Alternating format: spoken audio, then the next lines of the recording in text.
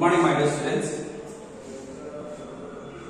Today, we'll start with the remaining part from the chapter The Man from the Airport from where we stopped in our previous class. Okay.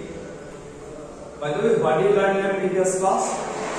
We have learned that Hassan.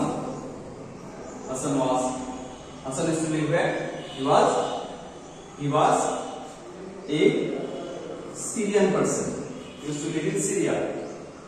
So he got a job in an insurance company in where? UAE. Right? You got to know that you work in a company, UAE insurance company. He worked there from 2006 to until 2011. Then what happened? His passport, his visa expired. So he had gone to the embassy for apply for it. He didn't get it. Why? Because that uh, embassy, Syrian embassy, disagreed to renew his visa because the civil war began. When did the civil war begin? Civil war began in the year 2011. Syrian civil war. Syrian civil war. When did it began? 2011. So the people those were the different countries, they have to go to their own country and participate in army or join the armed forces. He got afraid that he had to apply for or he had to go to apply for armed forces. Therefore, what did he do? He evading the authorities, he remained there illegally in UAE for until 2017. From 2011, he was there till 2017 without being caught. He didn't get caught. He was there itself. The authorities could not catch him. But at last in the year 2017, he was caught. After he was caught, he was sent to 2017. He was deported to a country named Malaysia. In Malaysia, what happened? As he was deported in Malaysia, he got a tourist visa for a few days. In two. He lived in uh, where did he live? In Malaysia. After reaching there, what did he get? Tourist visa. He, he had been there for a few days. Then he wanted to go to Ecuador. He couldn't get. Turkish Airlines he wanted to get. He wanted to go to uh, he wanted to go to sorry. He wanted to board the Turkish Airlines as he wanted to go to Ecuador. But this Turkish Airlines did not allow him. Neither he they refunded him back the money. After that he wanted to go to Colombia also. He couldn't get. But by the time he came back to Malaysia, the airport authority did not allow him to enter the country. Because his visa had expired by then. He was kept inside the Kuala Lumpur International Airport. then what happened? Uh, he didn't have anything to eat there. What uh, a washroom was there which was unused. He was using that, and he was living within that inside that uh, airport only. He was stranded there. He was captivated there. Hereafter, what happens? Live safely. In March 2018, we have dwindling resource. Dwindling resource means amount of money is becoming very less. With a small amount of resource. What did he do? Hassan decided to let the world know about his situation. What did he want to know about the situation? His situation. Whose situations? Hassan's situation. Whom did he want to know about his situation? The whole world. How? You see. Uh, he started to tell the world his story by posting regular videos on the internet and sharing details of how he was surviving on day-to-day basis. So he started to tell people how people are living on the daily basis, how they are living. Uh, uncertain of his future and the march of the strangers. He was uncertain of his future. He was not certain at all what is going to be his future. They didn't know anything about him. By June 2019, Hassan had spent 100 days trapped at Kuala Lumpur International Airport. By which year? 2018. June. How many days it became? It became 100 days. Where? Kuala Lumpur International Airport. Kuala Lumpur International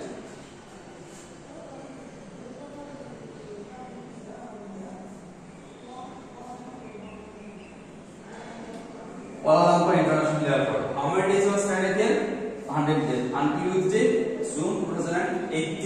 Now see, more than 3 months. He was stranded here.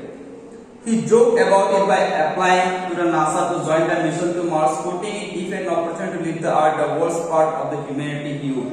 He said if I would get to leave the Earth, I would leave the Earth only.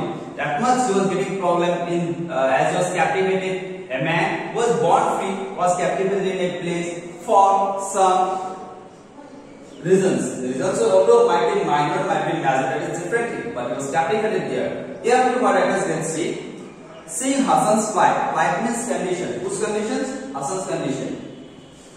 A woman in British Columbia, Canada started a fundraiser. What did the lady do? The lady in US, uh, British Columbia, what did she do? She started a fundraiser. Now what does fundraiser means? The word fundraiser means what you know? The word fundraiser means means uh, organizing an event to collect the money. Like you might have seen in the social media platforms and all, uh, many YouTubers and all, what they are uh, the last time also COVID situation was there, then what they did, they raised some funds so that people could donate money there. And that money could be used for used for some useful purposes. So it's happened here also. A British lady, she raised some funds so that she could bring him back from that stranded place, from international airport where he was captured or captivated. Uh, yeah, to sponsor his travel and stay in Canada and financially support him for a year. So that with that money, she could financially support that person. People from around the world contributed to the fund. Finally, two organizations, the British Columbia Muslim Associations and Canada Caring Society gave him legal aid. Aid means help and sponsored him to Canada as a refugee. So they brought him to Canada as a refugee. Who brought? Two organizations brought. What are name of the organizations? The name of the organizations were one was British Columbia Muslim Associations and Canada Caring Society. These two, these two society, these two organizations gave him legal aid. Who gave legal aid to uh, Hassan and sponsored him to Canada as a refugee? Which are the small small questions? What the small questions which have been giving you throughout the videos? Try to remember those questions and try to write those questions in your copy. Okay. So these two organizations, one was British Columbia Muslim Association, other was Canada Caring Society. These two societies have uh, sponsored his sponsored him to come back to Canada and allow him to live there as a refugee.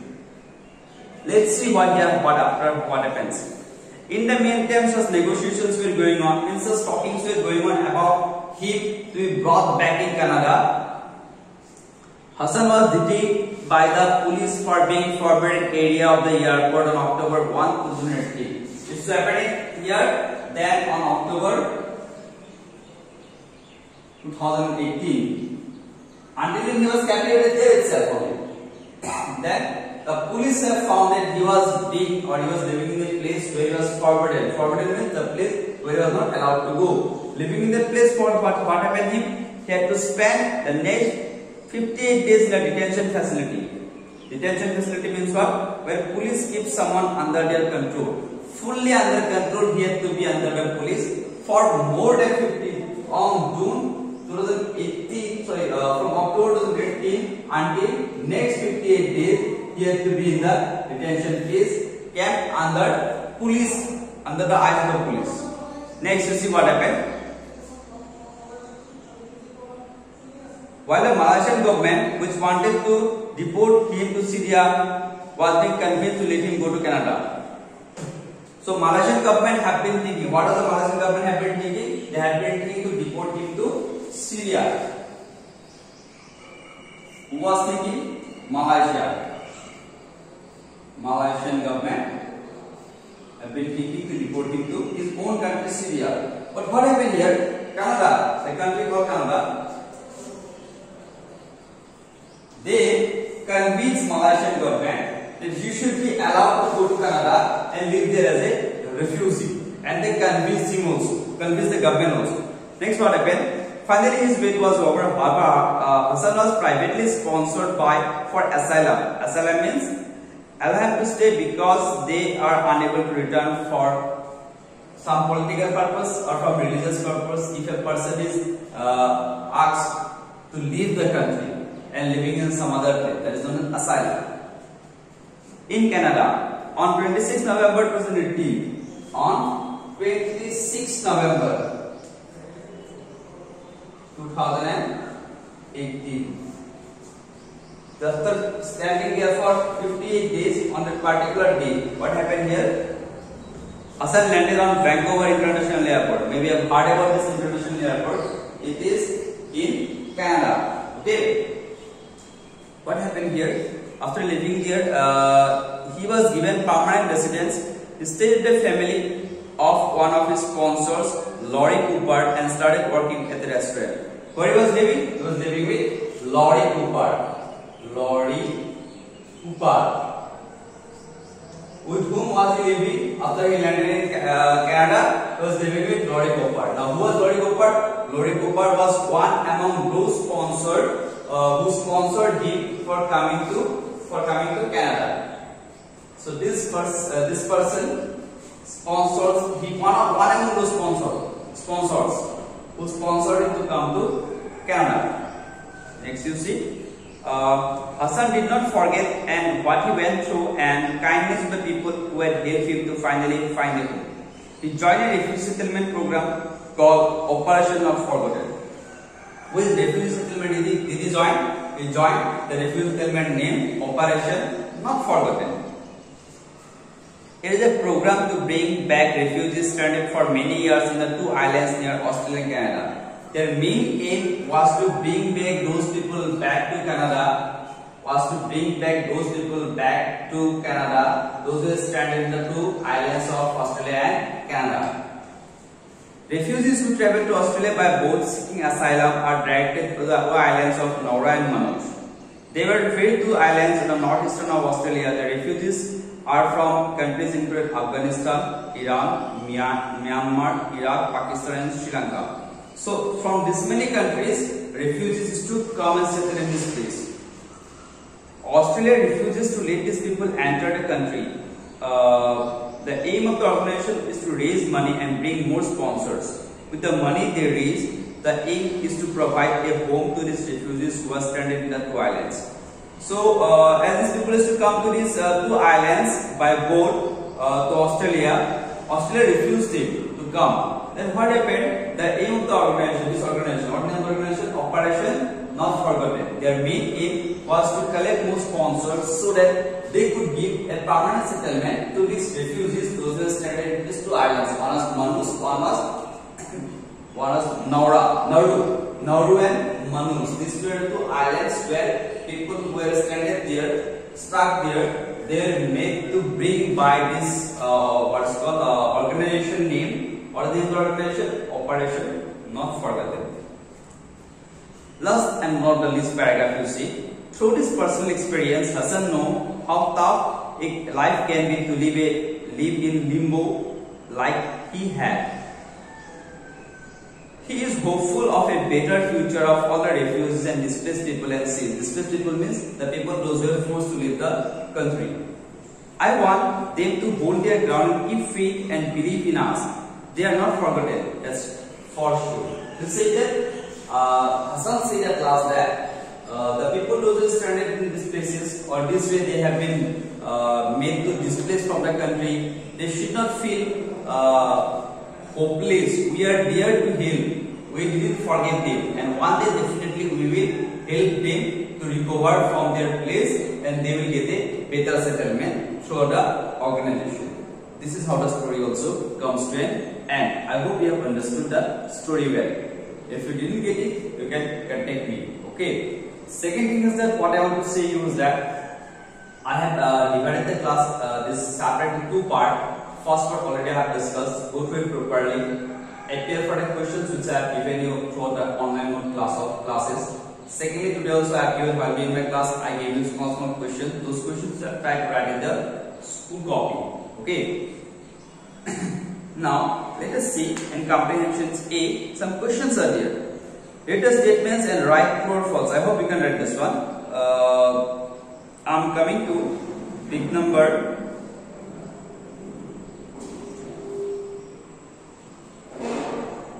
See, here are few statements that were refused with the islands of Naura and Manus. Only three points are correct. Choose them correctly. Number one is wrong. The refusal to stand the boat was still directed here. Number two is correct. Number three, refugees arrived from many countries like Afghanistan, Iran, Myanmar, Pakistan, Sri Lanka. Correct. Taken care of the agency here. Even the repeated request, the Australian government has not allowed the refugees to enter the country. Number five is correct. Number three is correct, and number two is correct. Right. Next one. Hassan says, I want them to hold on their ground, keep their faith and believe in us. They are not forgotten. This student is willing to help the others in the same way he has received help. Find right answers about the biography that shows the concrete step taken to realize his wish. What are the things he have done? Uh, reading is actually a biography. Biography means what? Someone who writes about uh, someone about someone other person is to write. That is known as biography.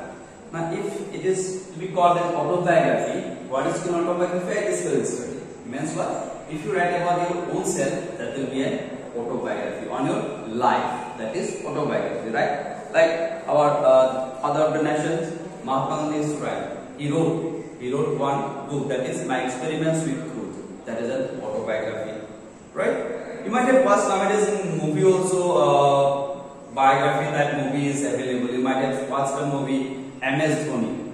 That is a biopic on life of someone right? This is all about. It. next big number E you see. Uh, what is the role of the program Operation Not Forgotten choose the correct answer It sponsors refugees to come to Canada and settle here, right?